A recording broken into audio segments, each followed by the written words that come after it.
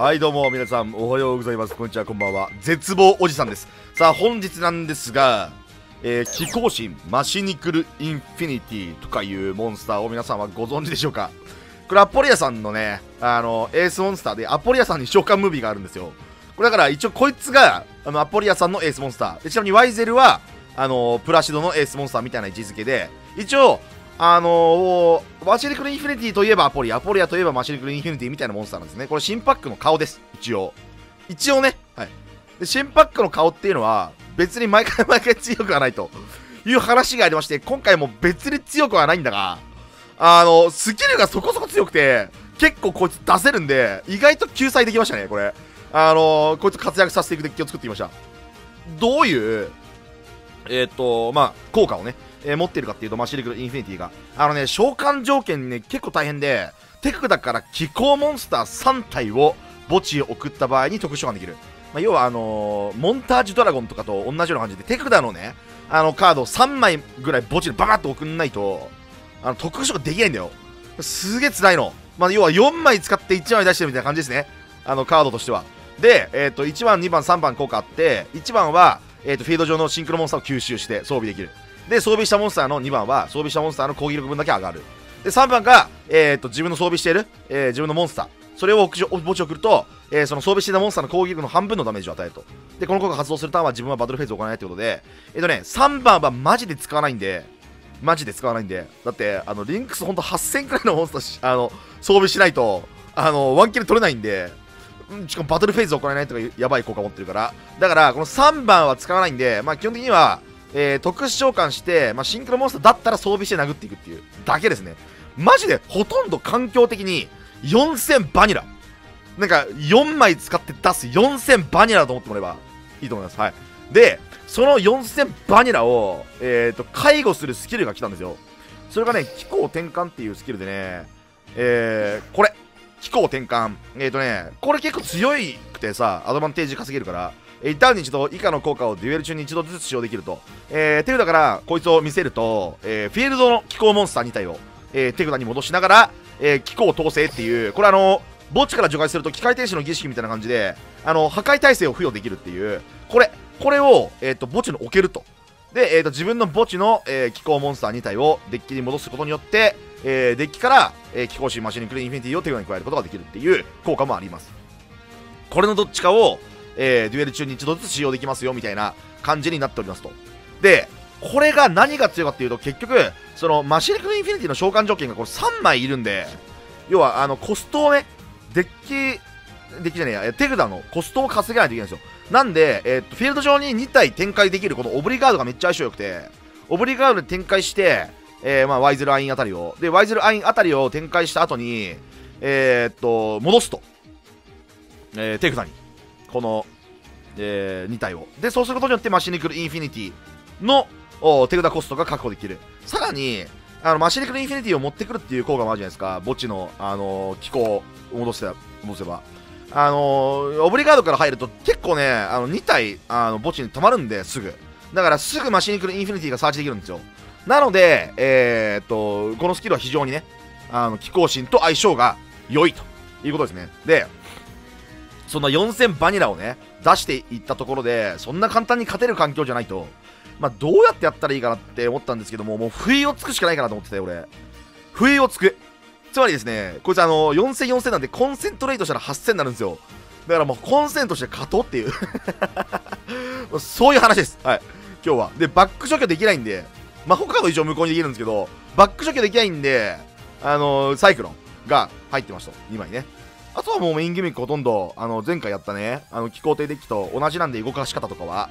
なんで、まあ、対戦とか見てもらえばわかるかなっていう感じなんで、早速ね、この、えー、肩幅がティア1の男、気候人マシニクルインフィニティ、こちらをね、出していきたいと思います。デュエル。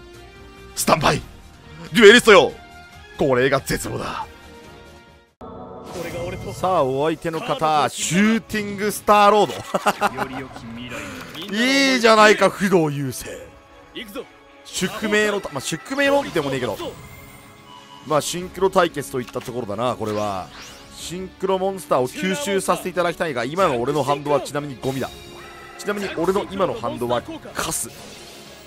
ジャンクシンクロだろいやーちょっと頼むから機皇創出来てくんねえから機皇創出来たらワンチャンありますね。コンセントレートも来てるんで。なんだかんだあのー、吸収はできそうな気するんですけど。はい、でスクラップ、えー、スクラップフェローズ？だけなんだっけ。えー、っとじゃあパワーパワーオブフェローズか。はい。でえー、っとコンバーターでジャンクシンクロン蘇生。はい。で親の顔より見た動き。で、えー、スターダスト。はいはい。はい。OK です。スターダストが OK ですリンクスってこういうスキルがいいよね。なんかそのキャラクターのうんとエースモンスターをあのー、何？非常にその活躍あ危ねえ。よかった。活躍させていただけるようなスキルをね実装してくれるのは非常にありがたい。シューティングスターロード。アポリアックにももうちょっとぶっ壊れスキルよこしてくれなかったですかね運営さん。これなんでこの人はなんかそのあまり救われないスキルしかないんですかね。からシューティングスターロードとかいうああいうさぶっ壊れスキルに比べてあまりにも弱すぎませんかねこのスキル。こう兵士オブリガード。相手のモンスターあこれ出そうなんか相手のモンスターを全部なんかあの何あのー、シンクロモンスターにするみたいなスキルあってもよかったんじゃない？なんかライフポイントが残り1000の場合に発動できる。相手の、えー、モンスターを全てシンクロモンスターにするみたいなね。ライフコストは絶対いると思うけどさすがにこんだけワイゼルが簡単に出るから。ただそうは言ってもねなんかそのそういうぶっ壊れスキルでもしないと環境が悪すぎるっていう話はあるんだけどとりあえず1回ギアギガントクロス出します。ギアギガントクロス出していく。はい。ギアギガントクロスの効果を発動。ギアギガントクロスのモンスター効果。オーバーレイユニットを1つ使いレベル4以下の機械族モンスター1体を手札に加えることができる。手札に加えるのはいやー、まあ、結構なんでもいいな。結構なんでもいい、これ。結構なんでもいい。あのね、マシニクルインフィニティさんはね、レベルが高すぎてサーチできません。はい。あいつはレベルが高すぎます。12とかだった気がするけど、確か、レベル。飛行転換。俺は墓地の、えー、っと、こいつらを戻して、マシニクルインフィニティを手札に加えていく。そして、えー、機皇帝ワイゼルインフィニティのモンスター効果発動。ワイゼルインフィニティはお前のモンスター1体を吸収する。これが絶望だ不動遊星何？フォーミュラシンクロの効果。はあ？いいだろう。フォーミュラシンクロをあいつターンに一度シンクロ召喚をすることができるレベル8のスターダストドラゴンにレベル2のフォーミュラーシンクロをチューニングしているようだな。絡みつく時間振り切って限界までぶっ飛ばしてギリギリの思いつないだら行くのさマイウェイ赤くたいる情熱抱いてモノクロの景色を抜けたらノンストップで一気に追い越していくぞユースユース俺は気候モンスターを3体墓地の国お前のモンスターはいただく。気候神マシニクルインフィニティ。気候神マシニクルインフィニティ。召喚ムービーをどうぞ優勢よ。息をしているか？これが絶望だ。これが絶望のモンスター肩幅広。肩幅広あうるせえ黙れ。機皇神マシニクルインフィニティのモンスター効果発動お前のシンクロモンスターは俺のモンスターに吸収させてもらう。ピューン。バトルフェイズ。行けワイゼルインフィニティでダイレクトアタック。ダメージステップ。コンセントレイト。少年よ。理解したようだな。これが絶望だ。仲間たちのためにも。アポリア勝っちゃう世界線めっちゃおもろいねこれアポリアの勝っちゃう世界線おもろ。さあお相手の方ヘルカイザーよくよろしくお願いします。デュエル3倍えー、っと一旦まあワイゼルインフィニティかな。サイバーはねなんかねえー、っとどうなんだろうな。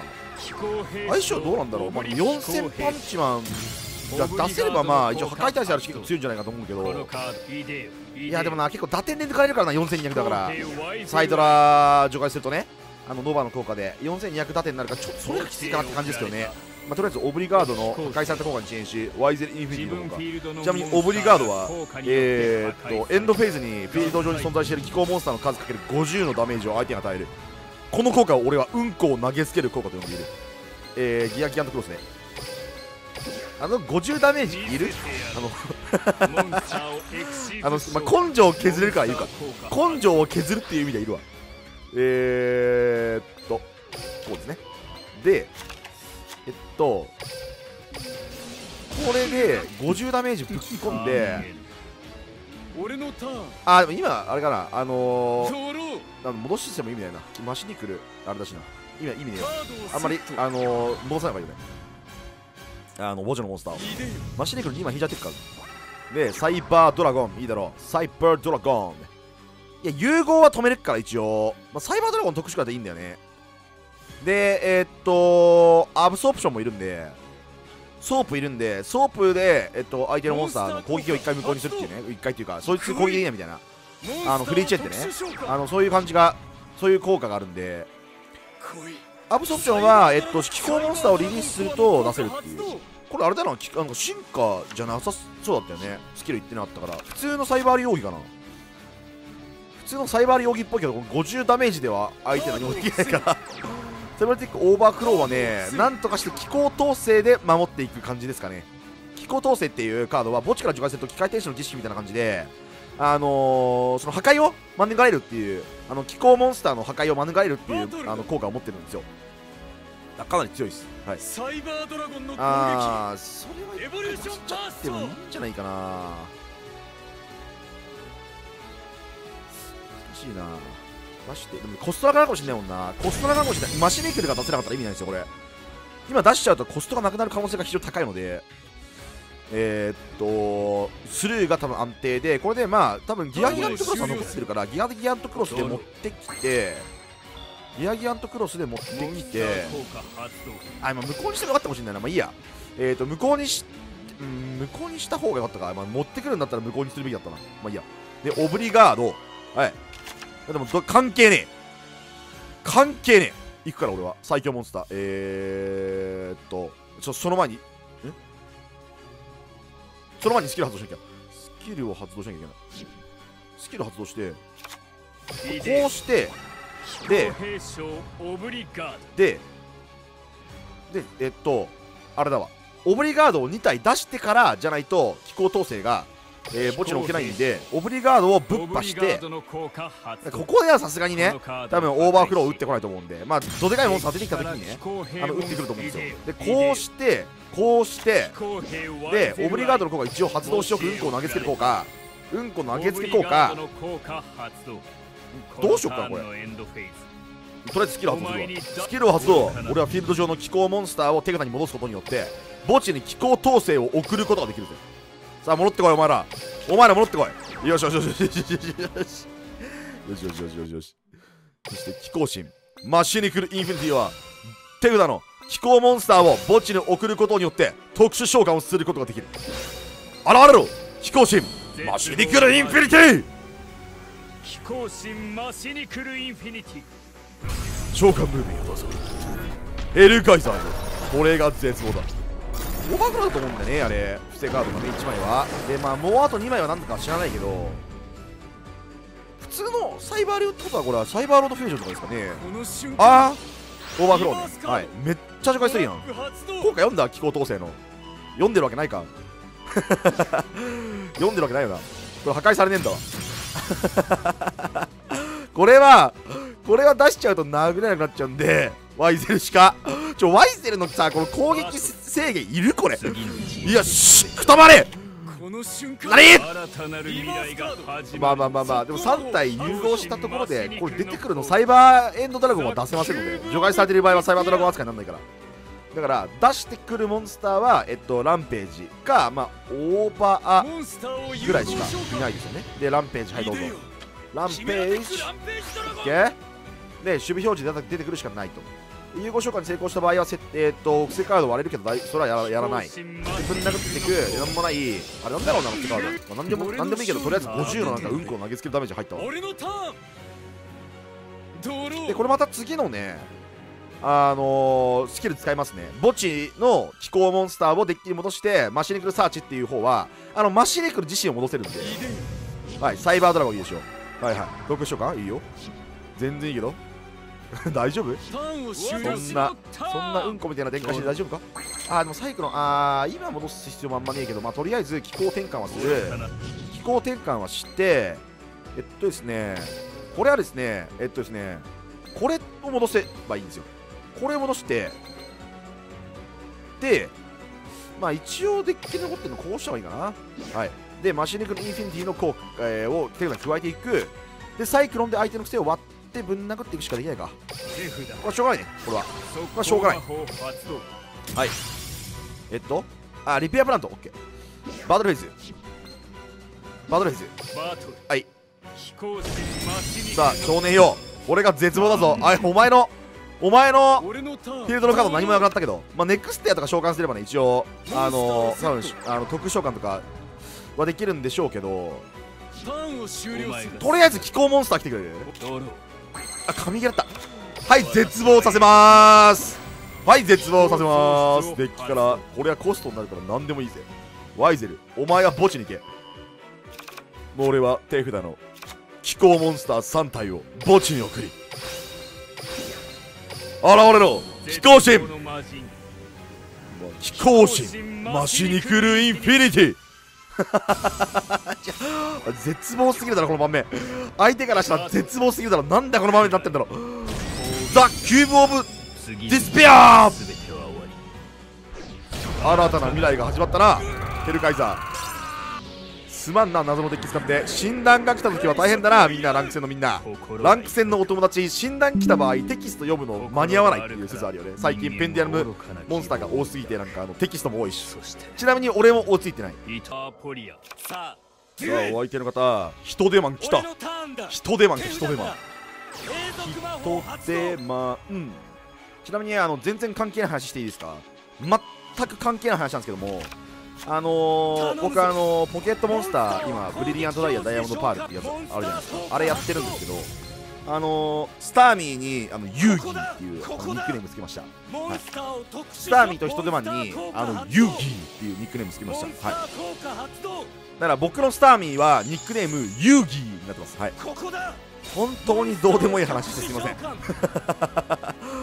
どうでも良すぎるなこの話さあなんかしんなんか知んねえけどなんかあのー、遊戯でなんか気候モンスター出されてるけどこれどういうこと？